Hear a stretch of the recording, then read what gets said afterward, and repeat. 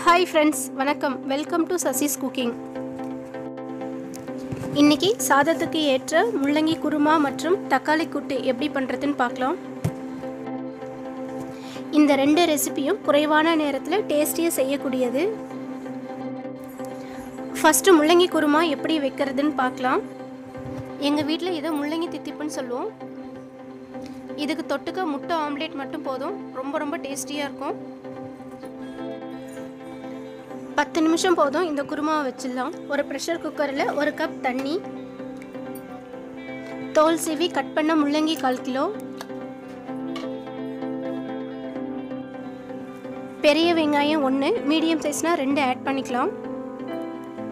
Medium size தக்காளி ரெண்டு.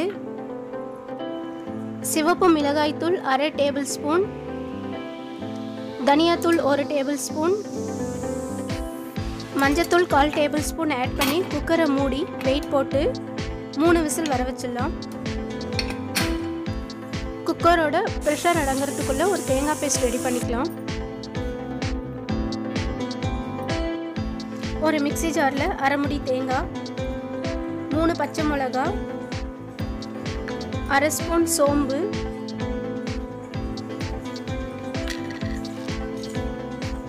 ஒரு ஸ்பூன் பொட்டுக்கடலை தேவையான தண்ணி ஊற்றி நல்லா மைய அரைச்சிக்கலாம். இப்போ தேங்காய் பேஸ்ட் ரெடி முள்ளங்கியும் வெந்துடுது. குருமா தாளிக்க ஒரு கடாயில் ரெண்டு டேபிள் ஸ்பூன் ஆயில் விட்டுடலாம். எண்ணெய் காஞ்ச உடனே கால் ஸ்பூன் சோம்பு. ஒரு காஞ்ச மிளகாய் கிள்ளி போட்டுடலாம்.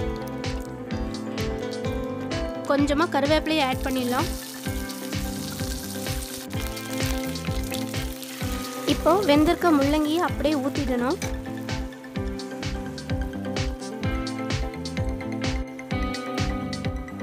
ஒரு கப் தண்ணி தேவையான அளவு உப்பை ஆட் பண்ணி குருமாவை கொதிக்க வச்சிடலாம்.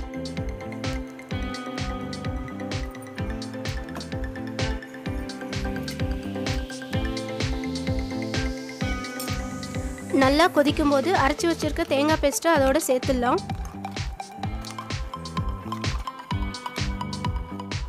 தேவைன்னா கொஞ்சம் தண்ணியை சேர்த்து மீடியம் ஃப்ளேமில் வச்சு கொதிக்க விடுங்க.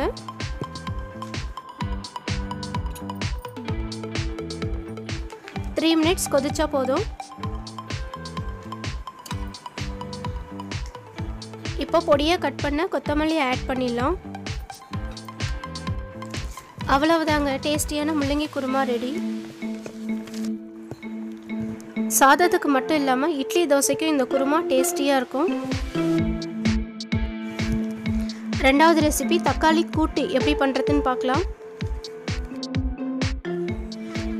எங்கள் வீட்டில் இருக்க எல்லாருக்கும் இந்த கூட்டு ரொம்ப ரொம்ப பிடிக்கும்.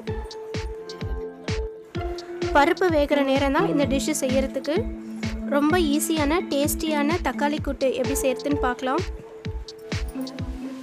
ஒரு ப்ரெஷர் குக்கரில் நூறு கிராம் துவரம்பருப்பு துவரம்பருப்பை வாஷ் பண்ணி பத்து நிமிஷத்துக்கு முன்னாடியே ஊற வச்சுட்டேன் துவரம்பருப்பு வேகிறதுக்கு தேவையான தண்ணி.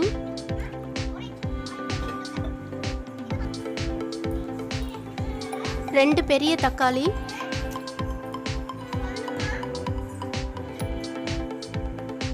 ரெண்டு பச்சை மிளகா. கால் ஸ்பூன் மஞ்சத்தூள்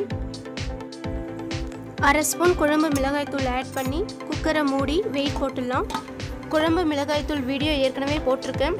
அதனோட லிங்க் டிஸ்கிரிப்ஷனில் கொடுக்குறேன். பருப்பு வேகிறதுக்கு நாலு விசில் வர வச்சிடலாம். பருப்பு ஊற வச்சதுனால சீக்கிரமாக வெந்துடும். ப்ரெஷர் அடங்கின உடனே ஓப்பன் பண்ணி தேவையான உப்பு போட்டு மத்து வச்சு நல்லா கடைஞ்சிடலாம். தாளிக்கிறதுக்கு ஒரு கரண்டியில் மூணு ஸ்பூன் எண்ணெய் அரை ஸ்பூன் கடுகு கால் ஸ்பூன் சீரகம் ஆட் பண்ணிடலாம். கொஞ்சம் கருவேப்பிலையை போட்டு தாழ்த்தி கடைஞ்சிருக்க தக்காளியோட ஆட் பண்ணிடலாம்.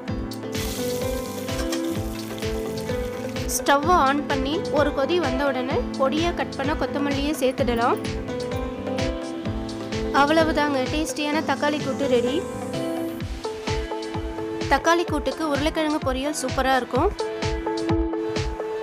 இந்த தக்காளி கூட்டு தோசைக்கு தொட்டு சாப்பிட்றதுக்கும் நல்லாயிருக்கும் நீங்களும் இந்த ரெசிபி உங்கள் வீட்டில் ட்ரை பண்ணுங்கள் எப்படி வந்ததுன்னு கமெண்ட்ஸில் சொல்லுங்கள் இந்த வீடியோ பிடிச்சிருந்தா லைக் பண்ணுங்கள் ஷேர் பண்ணுங்கள் சப்ஸ்கிரைப் பண்ணுங்கள் தேங்க்யூ ஃப்ரெண்ட்ஸ்